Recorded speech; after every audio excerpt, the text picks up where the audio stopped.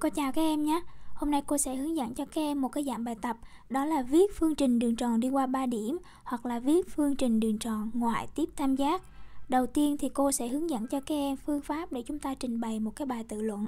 Sau đó là cô sẽ hướng dẫn cho các em phương pháp nhanh để chúng ta làm bài trắc nghiệm nhé. Để viết phương trình đường tròn đi qua 3 điểm thì chúng ta có 4 bước. Bước 1 các em ghi là phương trình đường tròn C cần tìm có dạng x trừ a tất cả bình cộng y trừ b tất cả bình bằng r bình phương. Sau đó em đặt cái phương trình này là sao ha? Trong đó ab chính là tọa độ của tâm y, còn r chính là bán kính của đường tròn c nhé bước thứ hai các em ghi là vì abc thuộc đường tròn c nên ta có ia bằng ib bằng ic bằng r. Ở đây cô có cái đường tròn c nè. Đó, cô có y là tâm ha. Lúc này mình có 3 điểm a b c thuộc đường tròn c đúng không? Như vậy chúng ta có IA bằng IB bằng IC bằng gì em? Bằng R nhé.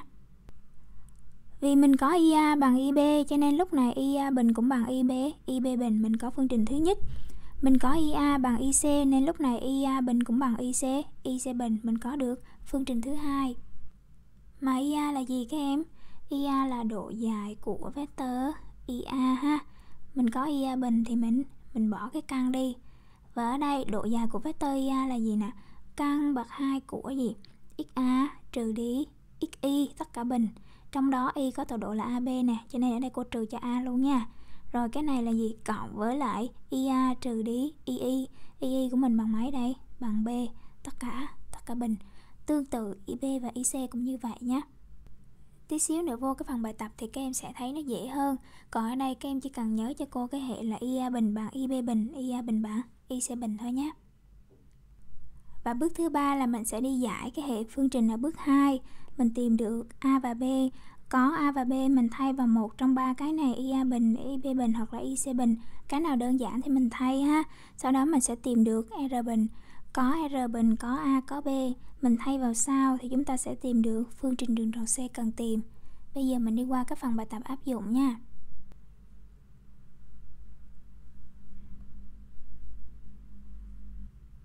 Bài 1. Lập phương trình đường tròn đi qua 3 điểm A, B và C. Phương trình đường tròn đi qua 3 điểm. Cô gọi phương trình này đường tròn C có tâm là y ha. Đi qua 3 điểm A nè. B nè. C nè. Thì lúc này chúng ta có gì các em? Lúc này các em có IB chính là bán kính IC chính là bán kính IA chính là bán kính. Tức là chúng ta có IA bằng IB bằng IC bằng R, ha. Và để viết phương trình đường tròn đi qua 3 điểm ABC thì chúng ta có mấy bước nào? Cô thu nhỏ cái hình của đây đây nha. Bước 1 mình sẽ ghi phương trình đường tròn, cô viết tắt ha, đường tròn C, cần tìm có dạng. Có dạng gì nào em đọc ra cho nhớ nha. X trừ đi a, tất cả bình nè, cộng với lại y trừ đi b, tất cả bình. Bằng r bình phương. Sau đó mình đặt đây là phương trình sao nhé. Trong đó, mình có AB chính là tọa độ của tâm tâm y nè. R chính là gì em? Bán kính ha.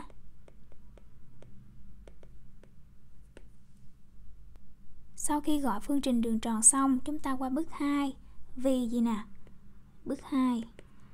Vì A, B, C vì ba điểm này nè thuộc đường tròn C đúng không?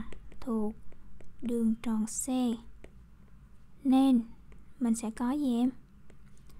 Mình sẽ có IA bằng IB bằng IC bằng R các em cứ thuộc hết bốn bước rồi các em trình bày theo bốn bước đó nha. Vì mình có IA bằng IB bằng IC cùng bằng R, cho nên lúc này chúng ta suy ra nè. Mình có gì?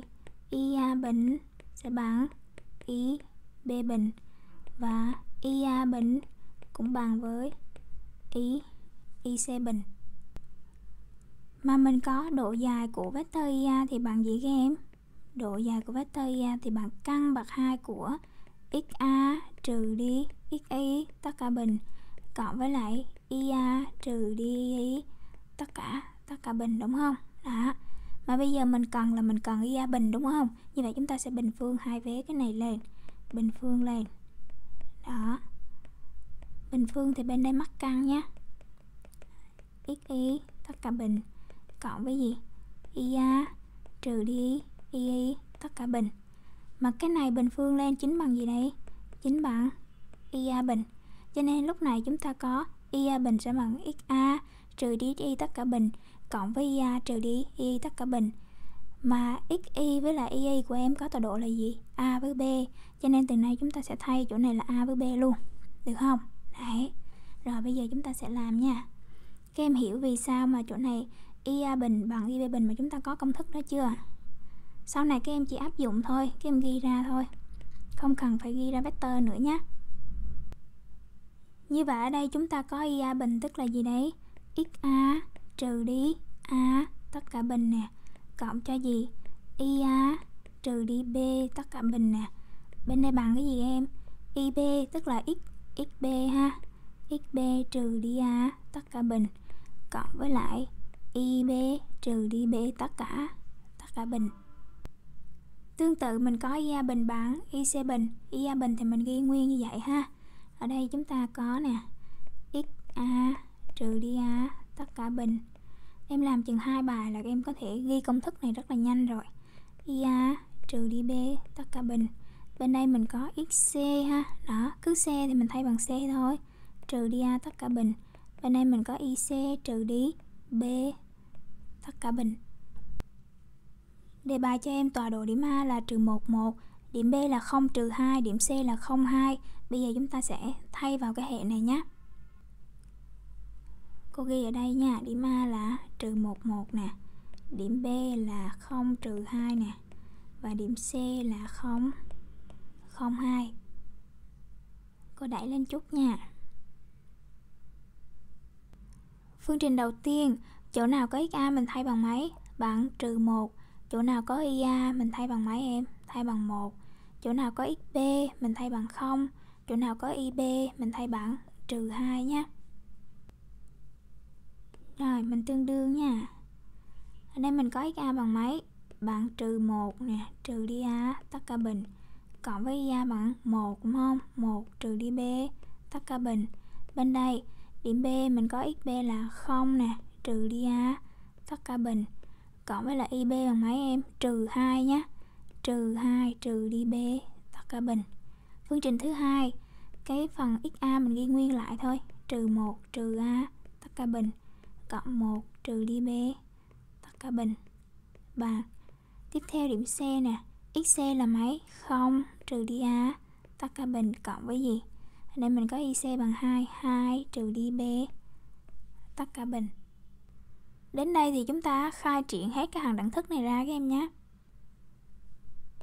Tương đương với, ở đây mình có trừ 1 trừ a tất cả bình, tức là 1 cộng a tất cả bình nhé. Khi nào em thấy là trừ a, trừ b, trừ x, trừ y thì lúc này chúng ta đưa về cộng hết nha. Như vậy ở đây là gì em? Một bình phương nè, cộng với lại 2a cộng với lại a a bình. Bên đây mình có 1 trừ b tức là một bình trừ đi 2b cộng với lại b bình. Bên đây mình có 0 trừ đi a tất cả bình tức là bỏ số 0 đi. Trừ a tất cả bình là còn lại a bình thôi á. Bên đây tương tự, trừ 2 trừ b tức là cộng hết là 4 cộng với lại 4 4b cộng với b bình ha. Khi mà các em làm bài á, là cái phần mà khai triển này các em làm ngoài giấy nháp, sau đó các em đưa cái kết quả cuối cùng vô đây thôi còn ở đây là cô bình phương lên cho các em thấy nên cô để nguyên nha. Tiếp theo, chúng ta khai triển cái ở dưới ha. Cái này thì mình ghi lại thôi. 1 cộng 2a cộng a bình cộng 1 trừ đi 2b cộng b bình bằng tương tự, ở đây chúng ta có 0 trừ đi a bình cũng là a bình ha. Ở đây mình có 2 trừ đi b, tức là gì? Cộng với 4 trừ đi 4b cộng với lại b b bình ở đây mình có a bình với a bình rút gọn, b bình b bình rút gọn. Tương tự phía dưới cũng như vậy ha. Rồi, như vậy chúng ta còn gì nào?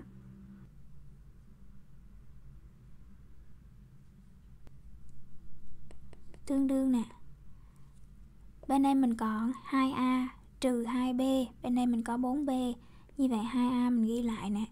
Cái này trừ 2b cái này 4b chuyển qua luôn là trừ 6b cô ghi vô là trừ 6b nha.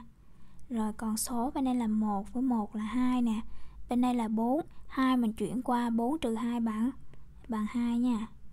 Còn bên đây, mình có gì? 2a nè. Mình ghi lại. Bên đây trừ 2b bên đây 4 trừ 4b chuyển qua. 4 trừ đi 2 là còn cộng 2b ha. Cộng 2b số mình chuyển qua 1 với 1 là 2 chuyển qua bên đây. 4 trừ đi 2 là là 2 nhé tương đương tiếp, tới đây thì mình có thể lấy máy tính mình giải hệ hoặc là mình nhẩm nghiệm nha. Nếu mà nhẩm thì cộng với theo vế mình sẽ có gì em? B bằng 0 đúng không? Menu 912 2 bằng trừ 6 bằng 2 bằng 2 bằng 2 bằng 2 bằng. 1 với lại 0 như vậy A của mình bằng bằng 1 B bằng B bằng 0 sau khi mình giải hệ, mình tìm được A bằng 1 B bằng 0 bây giờ mình sẽ qua bước thứ ba. Mình thay A bằng 1 B bằng 0 vào một trong ba cái IA bình hoặc IB bình hoặc IC bình để chúng ta đi tìm r bình nhé. Cô thu nhỏ cái này lại nha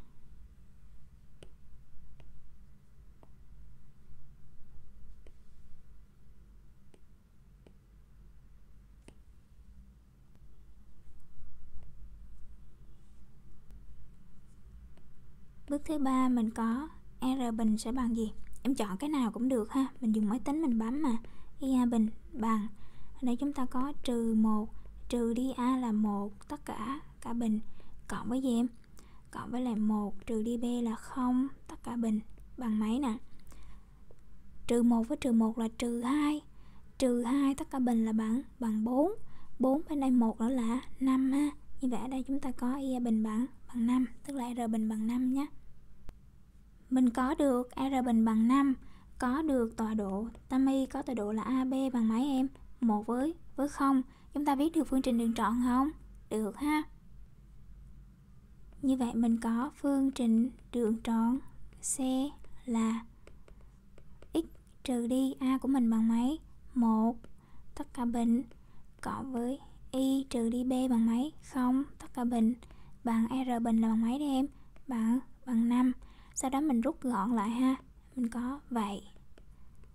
C là x trừ đi, x trừ đi 1 tất cả bình.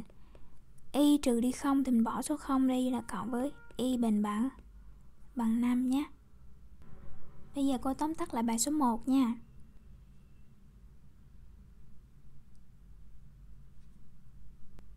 Đề bài yêu cầu em lập cái phương trình đường tròn đi qua 3 điểm A, B và và C Bước 1 các em ghi là phương trình đường tròn C cần tìm có dạng x trừ a bình cộng y trừ b tất cả bình bằng r bình. Và lúc này chúng ta có AB chính là tọa độ của tâm y và bán kính là r.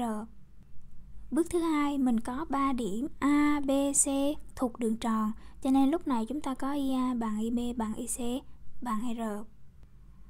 Khi mình có IA bằng IB thì mình có IA bình cũng bằng IB bình IA bằng IC thì mình có IA bình cũng bằng IC bình.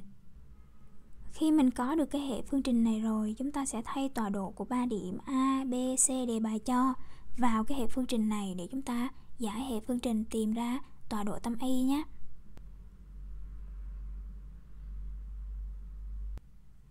Sau khi giải hệ tìm được tọa độ tâm y, chúng ta sẽ thay A và B vào một trong ba cái IA bình hoặc IB bình hoặc IC bình để chúng ta tìm ra R bình. Có R bình có tọa độ tâm y chúng ta hoàn toàn viết được phương trình đường tròn nhé. Bây giờ mình qua tiếp bài số 2 nha em.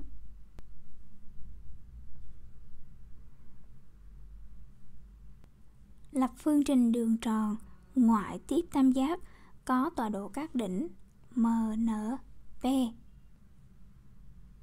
Mình có cái đường tròn này nè, nó ngoại tiếp cái tam giác M, N với lại P. Đó, mà MNP có các tọa độ đỉnh là 2, 5, 1, 2 với lại 5, 5, 4. như vậy ở đây chúng ta có cái tam giác MNP cách làm cũng tương tự đúng không em mình cũng viết gì phương trình đường tròn đi qua ba điểm nào? MN MNP được không?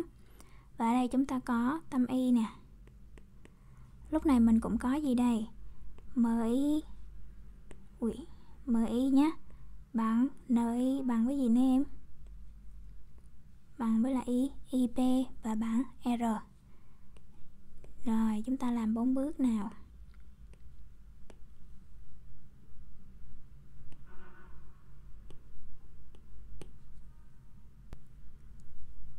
Bước 1 mình sẽ ghi gì? Phương, trình, đường đường tròn C, cần tìm, có dạng.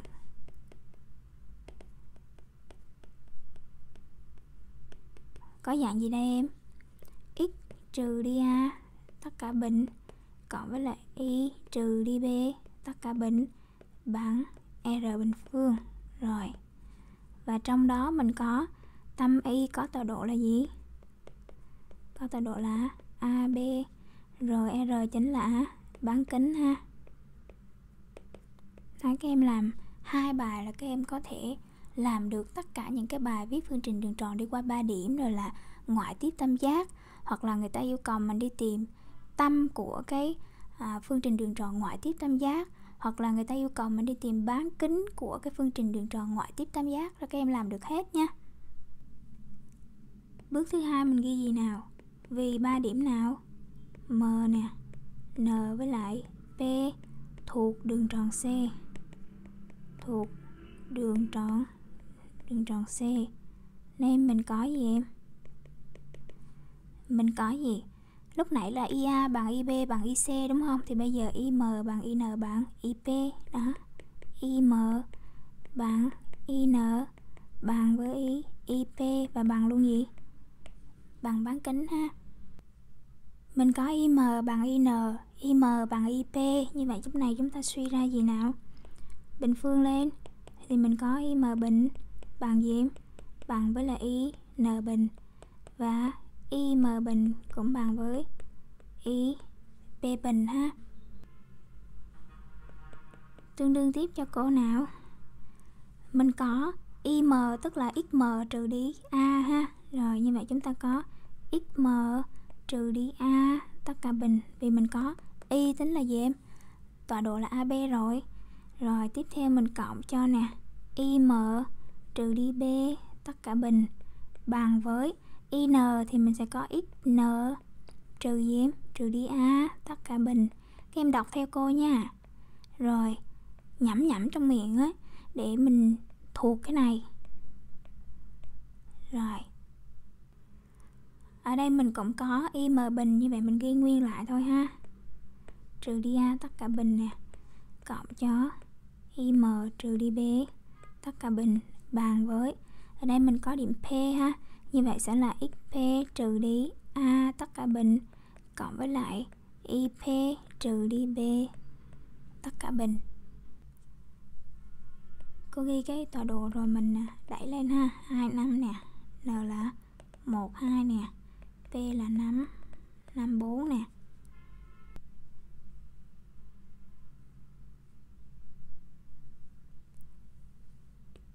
Rồi tới đây các em thế số vô cho cô đi. XM XM của mình bằng mấy? Bằng 2 đúng không? Như vậy là 2 trừ đi A tất cả. Bình nè, Cộng cho Y là 5 nè. Trừ đi B tất cả. Bình bằng với 1 N là 1 ha. 1 trừ đi A tất cả bình cộng với là gì? Cộng với là 2 trừ đi B tất cả bình. Bên đây, ghi xuống tương tự ha. Rồi, điểm P thì mình sẽ có 5 trừ đi A tất cả bình cộng với là gì? 4 trừ đi B tất cả bình tương đương với Tới đây thì chúng ta sẽ làm ngoài nháp nhé khai triển ra cho cô nào. Ở đây chúng ta có 4 trừ đi 4a cộng a bình ha. Bên đây mình có 25 nè. Trừ đi 10b cộng với lại b bình. 1 trừ đi a tất cả bình là 1 bình, trừ đi 2a cộng a bình.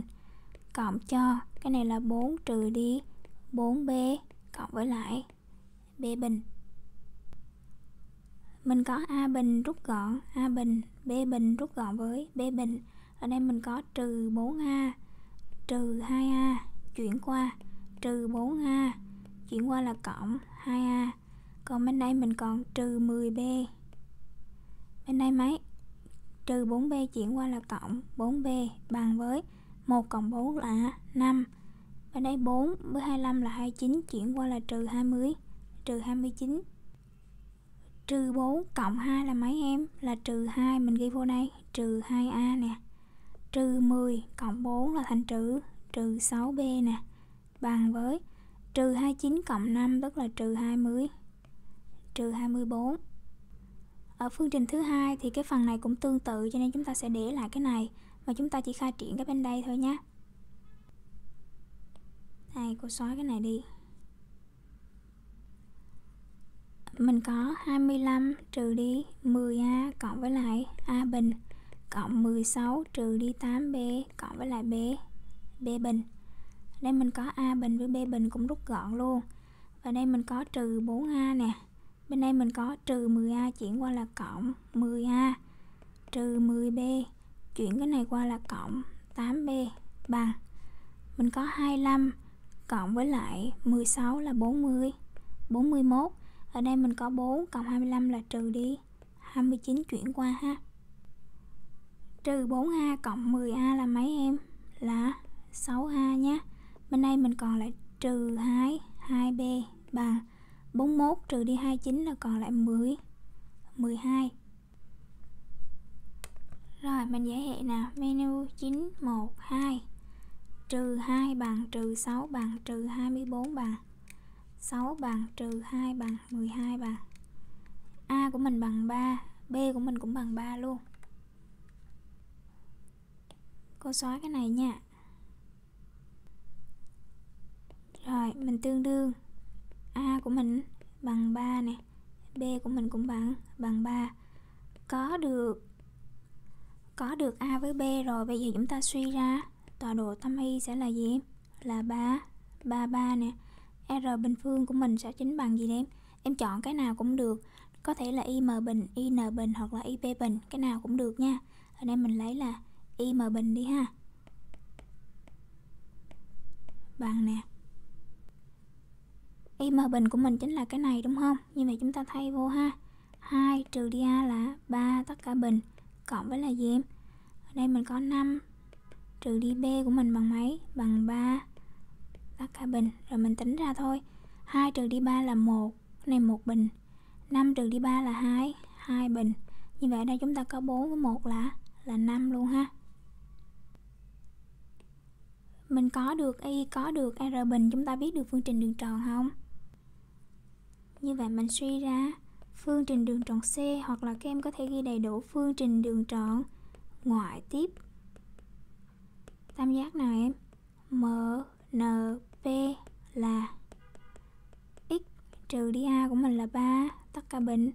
Cộng với là y trừ đi B là mấy đây? Cũng là 3 tất cả bình bằng R bình là bằng bằng 5 ha khi làm bài thi thì các em không cần phải khai triển cái này ra trong bài thi, mà chúng ta chỉ cần làm ngoài giấy nháp, sau đó mình đưa cái quả này vô, rồi mình giải hệ ra, mình tìm được A và B nha.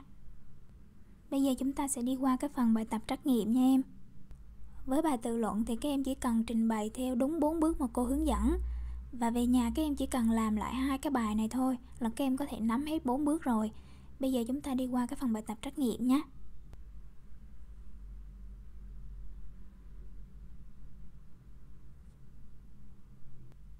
Cho tam giác ABC có A, B, C, đường tròn ngoại tiếp tam giác ABC có phương trình là.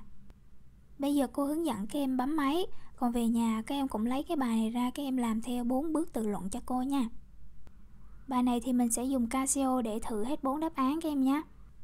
Bước 1 là mình sẽ nhập phương trình của đáp án A vào. Sau đó mình thay tọa độ điểm A vào đây. Nếu như mà nó đúng, thỏa mãn Thì chúng ta tiếp tục thay tọa độ điểm B vào, Tiếp tục thay tọa độ điểm C vào. Cả 3 điểm đều đúng thì chúng ta chọn đáp án A. Còn nếu tới cái điểm A này mà sai rồi thì chúng ta sẽ bỏ luôn đáp án A. Chúng ta qua đáp án B nhé. Cô ghi lại cái đáp án A với đáp án C bên đây để chúng ta để cái máy bên đây cho các em dễ theo dõi nha. Mình có x bình nè. Cộng với lại y bình trừ đi 2x trừ đi y cộng với là 20 bằng bằng 0 cái đáp án C của mình là x bình cộng với lại y bình trừ đi 4x trừ đi 2y cộng 20 bằng 0 Tại vì cái đường tròn này của mình á, nó ngoại tiếp tam giác ABC cho nên tọa độ của 3 điểm ABC thay vào đây nó phải thỏa mãn tức là thay vào nó phải bằng gì? Phải bằng 0 hết nếu mà nó bằng gì? 1 bằng 2 bằng 3 nó khác không? Tức là nó không phải đáp án đúng nhé Rồi bây giờ chúng ta sẽ thử đáp án A nè mình có x bình, y bình. Như vậy ở đây các em có cái x nè. Y nè, Thì em bấm cho cô alpha x bình ha. Cộng cho alpha y bình phương. Rồi, trừ đi 2x là, trừ đi 2x trừ đi y là alpha y. Cộng với 2 20 sau đó các em không có bấm bằng không nha. Mà các em bấm cái CLC cho cô nè, bấm can ha. Mình nhập cái điểm A của mình là trừ 24 ha. Rồi như vậy ở đây là x bằng trừ trừ 2 bằng y của mình là bằng bằng 4 đúng không? Rồi bằng 4 bằng như vậy để ra ra 40 các em, mà phải là bằng 0 mới đúng đúng không? Như vậy chúng ta loại đáp án A nha. Loại A đi. Tiếp theo, mình thử đáp án C luôn nha. Thì lúc này chúng ta không có bấm cái tắt cái này đi, mà chúng ta sẽ bấm cái nút này nè. Đó. Thấy chưa? Cũng là cộng 20 nè, mình sửa từng cái. Trừ đi 2y thì mình thêm số 2 vào. Trừ 4x đúng không? Rồi, xóa đi. 4 rồi, xong. Mình bấm bằng, cũng là cái điểm A đó các em. Đó, cũng là 40 luôn, như vậy. Loại câu C. Câu A, câu C với câu D nó giống dạng nhau, cho nên chúng ta sẽ thử ba câu này trước luôn nhé bên đây mình sẽ có gì? Trừ 20 đó. Rồi, trừ 2y trừ 4x tương tự luôn, đúng không? Cũng cái điểm A đó luôn. Rồi, mình bằng.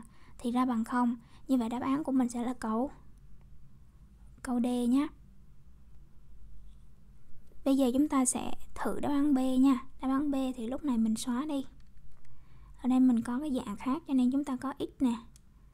Trừ đi 2 tất cả bình phương cộng với mở ngoặc ra. Y trừ đi, y trừ đi 1 ha. Tất cả bình phương. Cái số 20 này các em chuyển qua cho cô luôn là trừ 2 trừ 20 sau đó các em bấm can và cũng cái trừ 2 với 4 đó các em chỉ cần bấm bằng thôi. Đó nó ra bằng 5 phải bằng 0 mới đúng nha nếu bằng 5 là là không đúng. Như vậy là đáp án của mình là 3D nha. Về nhà các em nhớ làm lại tự luận xem thử ra có đúng đáp án D hay không nhé bây giờ mình qua tiếp bài số 4 nè.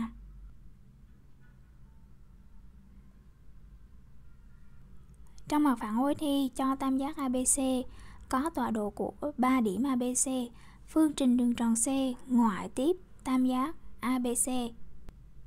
Tức là cái phương trình đường tròn này nó sẽ đi qua 3 điểm AB, ABC mà nó đi qua 3 điểm ABC thì ABC thay vào phương trình phải thỏa mãn đúng không?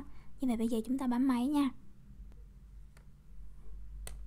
Bây giờ mình sẽ thử đáp án B với D trước nè. Nếu B với D mà không đúng thì cô sẽ thử đáp án A với C nha. Mình nhập vô cái em x trừ đi x trừ đi 3 tất cả bình nè. Cộng với lại y cộng cho 1 phần 2 là 0,5 nhé. Y cộng 0,5 tất cả bình. 41 phần 4 chuyển qua cho cô là trừ đi 41 phần 4 ha. Rồi sau đó chúng ta bấm can x của mình 1 với 2 mình nhập tọa độ A đi ha. 1 bằng nè 2 bằng nè. Kết quả của mình ra bằng 0 như vậy là gì? Đáp án của mình là câu B. Nếu mà nó khác không thì nó không phải đáp án rồi mình thử đáp án D nha. Mỗi bài mình thử hai đáp án nha cũng là trừ 41 phần 4 cũng là cộng 0,5 nhưng mà chỗ này là x cộng 2 đúng không? Cô đang bị ho cho nên cái giọng nói nó hơi khó nghe các em thông cảm nha. Cộng 2 rồi cũng là cái điểm A đó luôn cho nên mình không cần bấm can nữa mà mình sẽ bằng luôn các em nhé. Đó bằng 5 nó không đúng. Đấy như vậy bài 4 của mình đáp án B và về nhà các em cũng làm lại tự luận nhé bây giờ mình qua tiếp bài số 5 nhé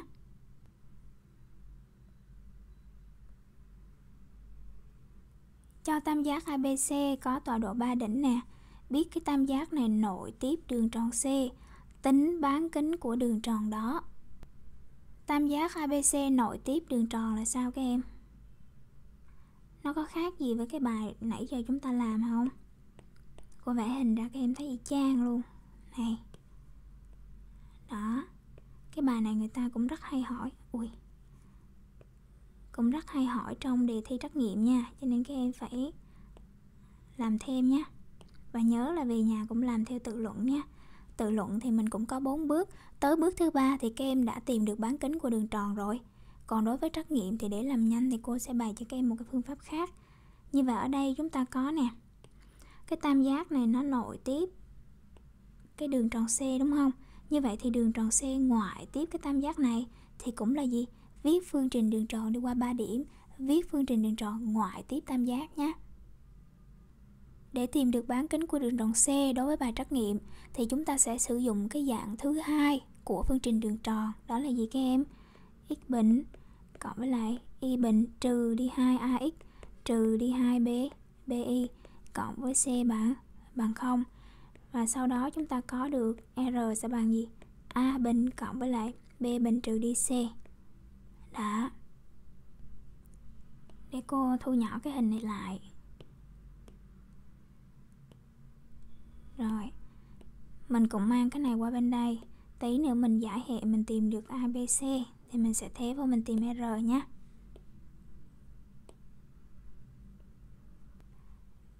Giữ x bình với y bình lại các em chuyển hết cái này qua cho cô nha. Suy ra nè, ở đây chúng ta có 2ax nè, cộng với lại 2b bi nè, cộng c sẽ chuyển thành trừ c, còn x bình với lại y bình. Để lại nhé vì cái tam giác ABC này nó nội tiếp đường tròn C, hoặc là cái đường tròn C này nó ngoại tiếp cái tam giác ABC cho nên lúc này, chúng ta thay tọa độ của ba đỉnh ABC vào cái phương trình đường tròn này nó phải thỏa mãn. Tức là lúc này chúng ta sẽ có một cái hệ gồm có ba phương trình. Mình thay điểm A vào sẽ là XA IA thay điểm B vào sẽ là XBI IB thay điểm C vào sẽ là XCI IC cô chỉ ghi ra cho các em nhìn thấy thôi. Chứ khi bấm máy, khi dùng máy tính là các em sẽ nhập vô luôn nha. Như vậy ở đây chúng ta có 2a x gì?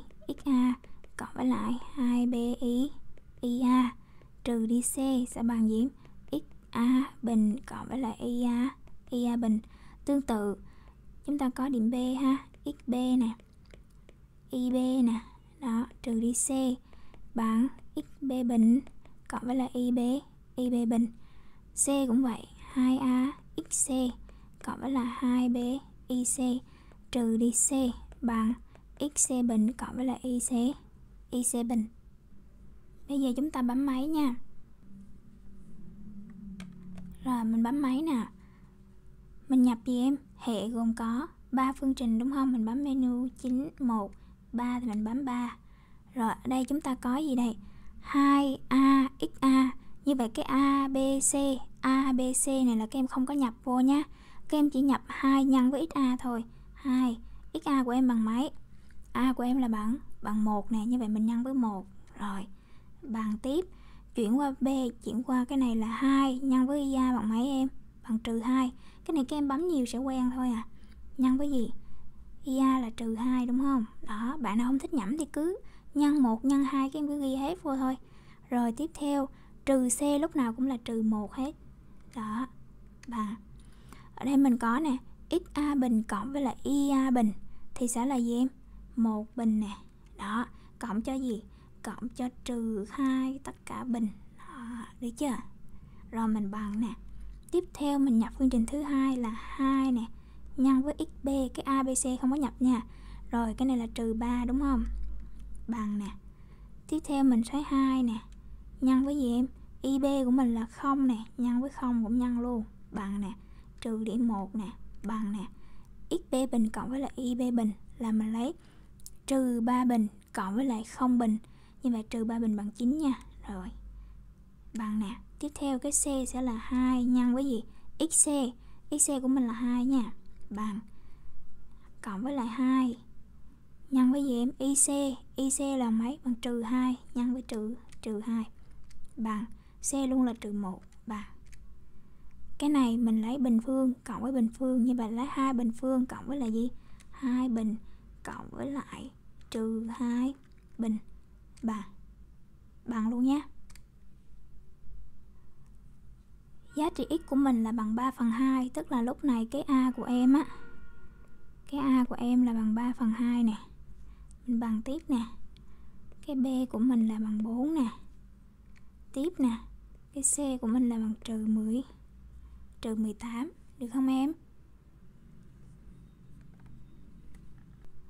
Sau khi tìm được A, B với C rồi mình thay vào đây mình sẽ tìm được R ha.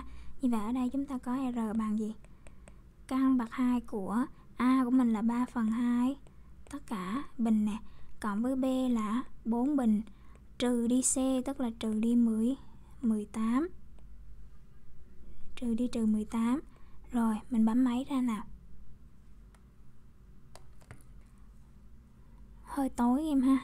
3 chia 2 tất cả bình nè. Cộng cho 16 nè. Cộng cho 10 18 rồi, lấy căn bậc 2 lên. Thì sẽ là căn 145 phần 2 căn 145 phần phần 2 ừ, ui chết rồi chỗ này sẽ là căn Ủa, đó như vậy đáp án của mình là cái này cô đánh nhầm ở các em câu 5C nha. Với cái dạng phương trình đường tròn đi qua 3 điểm để tránh cái trường hợp là các em sử dụng Casio để thử từng điểm, thử từng đáp án á, giống như cái bài 3, bài 4 nãy mình làm á thì người ta sẽ yêu cầu mình đi tìm bán kính của đường tròn hoặc là tìm tâm của đường tròn. Đấy, như vậy thì chúng ta sẽ sử dụng cái cách này để mình giải hệ gồm có 3 phương trình. Lúc này chúng ta sẽ đi tìm được gì? Tìm được tâm, tìm được bán kính. Đó, chỉ cần tìm được ABC thì các em đã có tâm và bán kính rồi. Cho nên để luyện tập nhanh hơn nữa thì về nhà năm cái bài đó các em lấy máy tính ra các em bấm hết đó các em viết lại cái phương trình đường tròn ở dạng như thế này ha sau đó các em không có viết cái này ra mà các em sẽ dùng máy tính các em bấm rồi em ra được ABC từ đó các em ghi nhớ cái công thức này để chúng ta đi tính bán kính nha như vậy là bài học của chúng ta đến đây kết thúc Cô hy vọng rằng cái bài học này giúp cho các em viết được phương trình đường tròn đi qua 3 điểm và làm bài trắc nghiệm thật là nhanh. Chào tạm biệt các em. Bye.